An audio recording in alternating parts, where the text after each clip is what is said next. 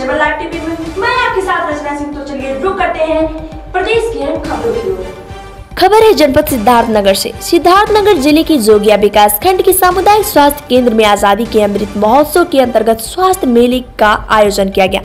जिसमें मुख्य अतिथि के रूप में कपिल वस्तु विधानसभा के विधायक श्याम धनी राही ने द्वीप दीप प्रज्वलित करके इस मेले का शुभारंभ किया। आपको बता दें कि नवजात शिशु का अनुप्राशन भी कराया गया। इस मेले में स्वास्थ्य और अन्य विभागों के अलग अलग स्टॉल लगाकर लोगों का स्वास्थ्य परीक्षण करने के लिए विभिन्न रोगों से संबंधित डॉक्टर द्वारा जाँच करके लोगों को उचित परामर्श देकर दवा भी दिया गया। वहीं आपको बता दें कि स्वास्थ्य मेले के आयोजन में दूर से आए क्षेत्रीय जनता को स्वास्थ्य से संबंधित जानकारी भी दी गई, जिसके तहत आम जनता को बीमारियों से बचने के लिए उपाय और सुझाव भी दिए गए। इस अवसर पर मुख्य चिकित्सा अधिकारी ने लोगों को बताया कि जनपद में गंभीर बीमारी के इलाज और लोगों की सुविधा के लिए घर बैठे विशेषज्ञ डॉक्टर से फ़ोन के माध्यम से इलाज और परामर्श ले सकते हैं।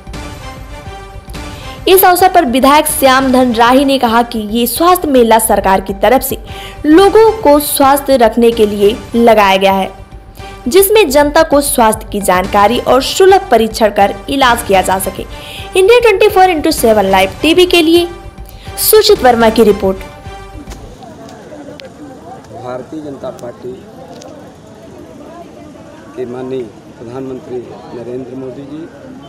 उत्तर प्रदेश के सचिव मुख्यमंत्री परम पूज्य योगी आदित्यनाथ महाराज जी, भारतवर्ष के पचहत्तरवें वर्ष आज़ादी के महोत्सव के अवसर पर जो अंतिम लाइन में खड़ा होने वाले व्यक्ति हैं, ऐसे लोगों के स्वास्थ्य की चिंता को देखते हुए स्वास्थ्य मेला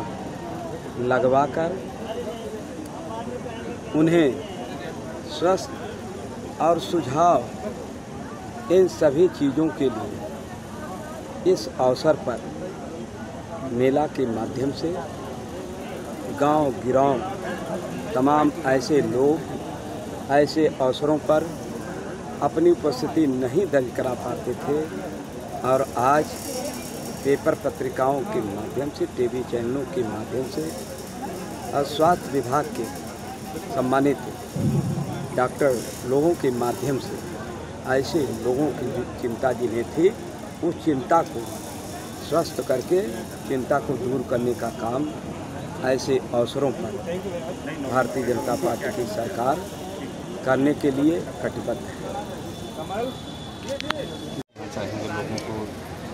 देखिए आज़ादी का अमृत महोत्सव सब जानते हैं हम पचहत्तरवें साल में आज़ादी के हैं और पूरे देश ने इस सा, इस पूरे साल को आज़ादी का अमृत महोत्सव के रूप में मनाने का फैसला किया है।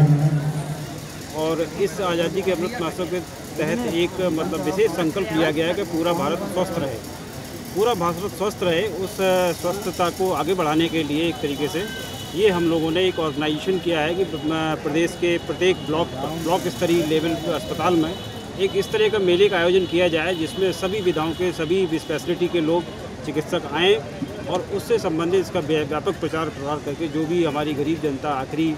अभी जैसे सर ने कहा कि आखिरी लाइन के लोगों तक पहुँचे, वो लोग यहाँ तक आएँ, अपना जाँच करवाएँ कम से कम, उनको कोई अगर बीमारी है तो उसका समय से निदान हो सके, उनका परीक्षण हो सके, उनका निदान हो, उनको दवाइयाँ मिलें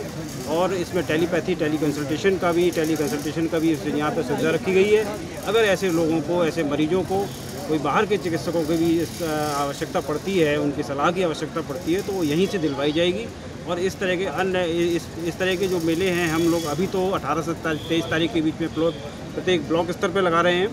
इसके अलावा हम लोग प्रत्येक शनिवार प्रत्येक रविवार को, संडे को, ये मेला हमारे सभी प्राथमिक स्वास्थ्य केंद्रों में, जो नवीन प्राथमिक स्वास्थ्य, जो हमारे सत्तावन है इस जनपद में, सत्तावन स्वास्थ्य केंद्रों पर लगता है। ये मरीज़ का जहाँ तक आज ये दवाई लेके चले जाएँगे, इनका फॉलोअप जो है, वो उन मेलों में, उन अस्पतालों में ये लगातार होता रहेगा और जब ज़रूरत पड़ेगी तो इनको बाहर के चिकित्सकों से भी सलाह दे के दवाई दिलवाई जाएगी।